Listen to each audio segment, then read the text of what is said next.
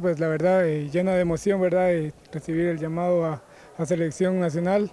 Creo que eso me llena de, confianza para seguir trabajando de la, de la, mejor forma posible y por supuesto desde ya eh, tratando de hacer lo que el profe quiere, a, adaptarnos a la idea de juego que él necesita. No, primero, en primer lugar, ¿verdad? Agradecido con Dios porque es una, una oportunidad que no siempre llega.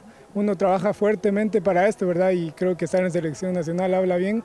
Y por supuesto, eh, todo esto es gracias al trabajo que, que, uno viene desempeñando durante todo el torneo, esperando eh, recibir siempre los llamados y estar en la, en la, lista final. Sí, creo que es una bonita oportunidad, ¿verdad? Eh, estar en selección mayor ya, ya te, da la, te da la pauta de hacer bien las cosas. Creo que eso es lo que llena de confianza a un jugador y por supuesto creo que ese trabajo va a ser indispensable para, para seguir haciendo bien las cosas. Creo que eso es un plus verdad extra que le da a uno como jugador de seguir mostrándose, de seguir haciendo bien las cosas durante todo el torneo y más aún eh, actuando para la selección nacional, que creo que es un orgullo extra.